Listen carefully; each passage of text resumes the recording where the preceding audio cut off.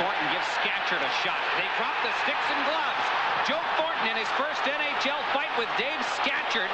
And Thornton switches over, started with the left, went to the right, and look at Joe Thornton go.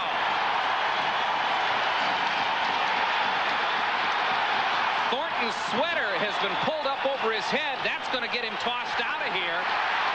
And the fans don't mind a bit. The first time we've seen Joe Thornton do it.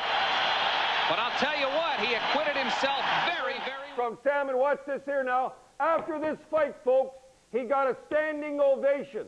Uh, uh, now watch them go 18 years old. Watch this here kid. And look at him go 18 years old. Look at that Scatchard Scatman go too. Now when he was through, he really got corked there. When he was through, he got a standing two-minute ovation. And Ken Dryden says no fighting, doesn't want fighting in the game.